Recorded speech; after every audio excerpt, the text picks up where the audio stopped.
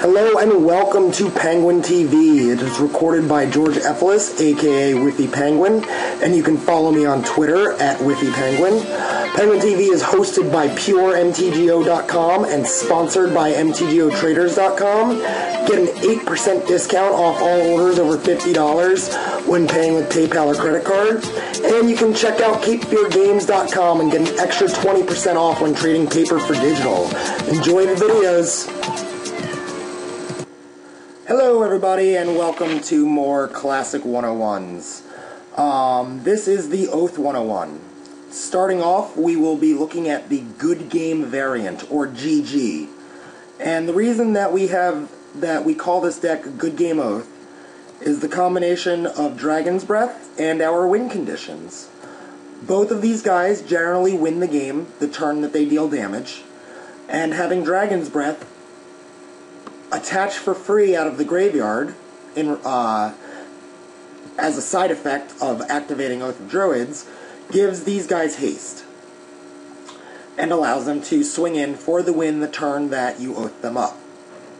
This is the fastest and most consistent version of Oath out on the internets or in the classic uh, classic format. And let's let's take a look at what makes Oath of Druids tick. First, it's Oath of Druids. Um, this is, for all intents and purposes, a creatureless combo control deck. I know that there are creatures, but you're not hard casting these guys. So this is, for all intents and purposes, a creatureless combo control deck that seeks to combine Forbidden Orchard and Oath of Druids together to give them a guy to activate Oath of Druids, which will allow you to reveal cards until you hit a deuter, flip the deuter into play, and all the cards you revealed into the graveyard. And some of these will be really good cards, like Dragon's Breath and Ancient Grudge. Um, the nut play for Oath of Druids is this right here. Forbidden Orchard, Lotus Petal, Oath of Druids. That gives you a turn one um, Oath with activation. On your second on your second turn before you draw, you'll flip up a guy. Chances are you'll also flip up a Dragon's Breath. So that's a nice little thing to see before you even draw your second uh, card for the, the game. The deck is loaded with Brainstorms, Imperial Seal, Demonic Tutor, Vampiric Tutor. These, one, two, three, seven, eight, nine, 10, 11 cards. These 11 cards right here, you will see in every single deck. Well, not every single deck. I'm going to say 99.9% of the blue combo control decks all play these nine car or these cards. Most of them also run a full play set of Lotus Petal as well. These are our uh, air quote vintage decks. We've got the best mana acceleration in the format. We've got the best card selection and card filtering in the format. And we've got the default best combination in the game. In between Time Vault and Voltaic Key. Uh, people have seen this in my videos, I know. But the combination of these two cards together will win the game almost every time. The only the only way that you'll end up losing the game is if you'll draw from an empty library, like if you've oathed too hard, or if you've got a mana crypt and you're at low life. You also have access to things like Beast Within or Nature's Claim and Ancient Grudge to get rid of this mana crypt. Oh, most of the, almost all of the blue decks also run Tinker. Um, so yeah, that is the general overview of how Oath of Druids works. This particular version runs with Blightsteel, Emrakul, and Dragon's Breath to win on the turn that it oaths it up. Um, this is my own brew of the deck. It's not something you'll find out on the internets because I built it after the event stopped firing. And you'll notice my three Beast Withins in the main deck. I've said over and over again how much I love this card, and here is an outlet for me. um, blowing up any permanent except for Blightsteel or Emrakul, and also giving them a creature so that I can activate Oath the Druids. This card was... I feel like this card was made for the Oath decks in Vintage and Classic. Um, but yeah, so that is one version, the Good Game Oath. The next pop, most popular or consistent version would be Elephant Oath.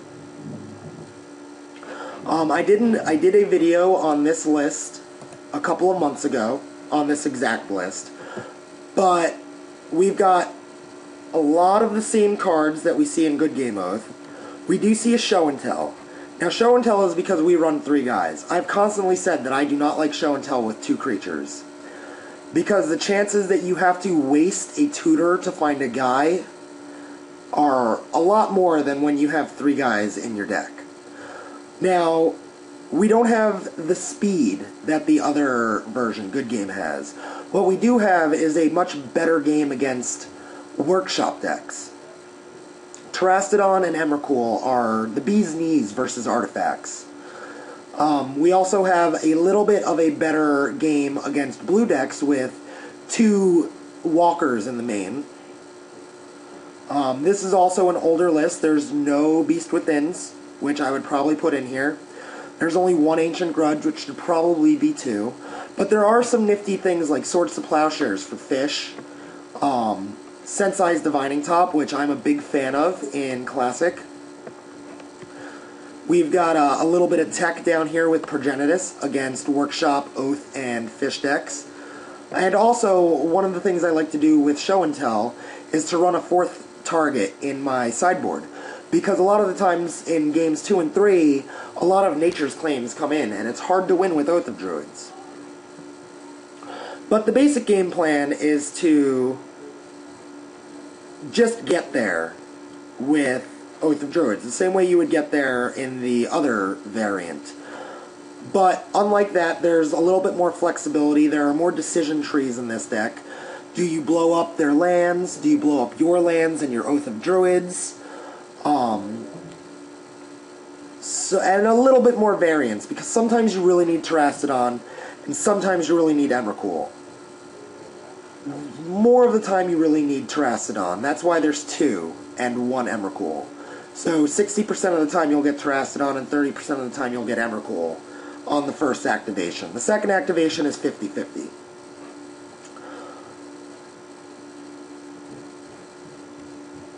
Not a whole lot different in this list than the good game variant besides the targets. We again have Force of Wills. We have Mana Drains. Uh, I have Steel Sabotages in this list. This list is a little teched out for the Workshop uh, matchup with Sabotage and the Ancient Grudge. Another Ancient Grudge, Nature's Claim. Two Nature's Claim in the main. Um, but yeah, that's this version. And we'll bring up the only other version that's actually placed in an event, which is also Elephant Oath. No, we want to bring up Sun Titan Oath. So I played this list in the very first Classic Daily event, post Masters Edition 4. And the goal with this build, you only have one target in your deck to flip over with Oath of Druids. So you flip over Sun Titan. And when, what Sun Titan does is he can return any of these permanents back into the battlefield.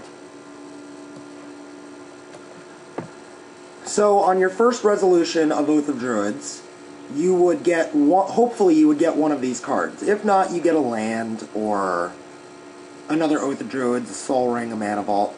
But hopefully you would get one of these cards. Most probably you would want to get Time Vault or Voltaic Key so that on the second iteration, you would get the other copy and scroll rack. But so you activate once and you get Sun Titan. Then you get one of these cards. You activate on the second turn and mill your entire deck. What this does is it puts Krosan Reclamation into your graveyard. It puts Yawgmoth's Will into your graveyard. There is no way these cards won't be in your graveyard unless they are in your hand. So, uh, second activation, mill your entire deck. Then you play Krosan Reclamation for its buyback cost, or flashback cost. And you would put Yawgmoth's Will in your deck, and any other card. You don't actually even need another card. You draw for the turn, get Yawgmoth's Will. Attack with Sun Titan and put Scroll Rack into play. Play Yawgmoth's Will, get all of your mana artifacts, a Tolarian Academy, and a Jace with access to Force of Will's mana drains and discard. Then you use Scroll Rack and put one card on top of your deck. Activate Time Vault and Voltaic Key to take an extra turn. Um, draw one card from your deck. And now you, your deck is at zero again. Activate Scroll Rack. Put a card back on top of your deck. Attack with Sun Titan. Activate Time Vault. Draw a card put a card back on top of your deck with Scroll Rack, attack with Sun Titan, and you win the game. This sideboard is a little wonky. Um, the main deck, because of the way that this combo functions, the main deck needs to have only one creature in it. Because you want to empty out your library as quickly as possible to get that Yawgmoth's Will going. But the sideboard has access to Iona, Tinker, and Sphinx of Steelwind for problem matchups as well as some other cards that you would expect to see in the archetype. The last version of the deck that people are trying to kick around with is an Oath of Druids slash Gush Bond engine. So we've got the Oath of Druids plan with a couple of Lotus Petals and Forbidden Orchards. Our win conditions here are Tidespout Tyrant. So, whenever you cast a spell, return target permanent to its owner's hand. With a Sol Ring and a Mana Crypt, you can create infinite mana. But that's not really what you're going for. What you're going for is just to create Lethal Storm with your deck. And then win via Gush, Fast Bond,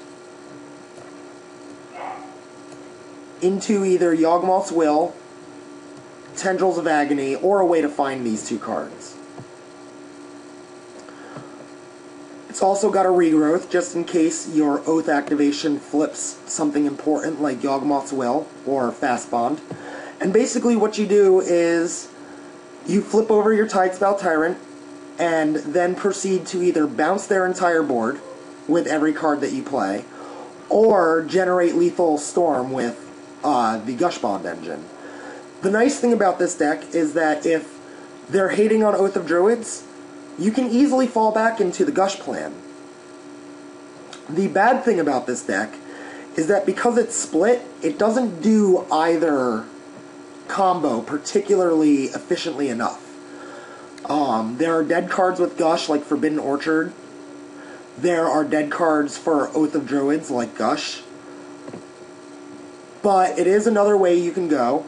And I'm sure that there are other archetypes out there. Uh, there's a new card coming out in M12, Rune Scarred Demon, I think it is, or Etched Rune Demon. Basically, it's a 6-6 flyer that Demonic tutors when it hits the battlefield. Um, I think it could have some application in Oath of Druids decks. You know, Oath, Oath your guy up, Demonic Tutor for Yawgmoth's Will on Resolution. Seems like it might be pretty good.